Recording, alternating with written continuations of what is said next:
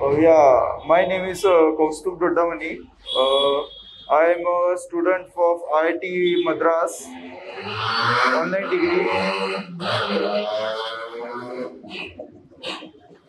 Uh, the center was easy to reach. Actually, this is not my first time coming here, so it was not that difficult. Okay, I always get this center for the exam, and uh, there are cer- cer- there are certain issues, but uh, all in all, it's all good. I think. How was the exam today? Actually, uh, uh, my I, today I had statistics and English paper. Uh, so English was very easy, and stats had a little difficulty, but I don't think it was tough as in.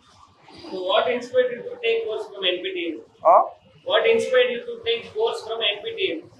Uh, I read an article on uh, Google a few uh, years back.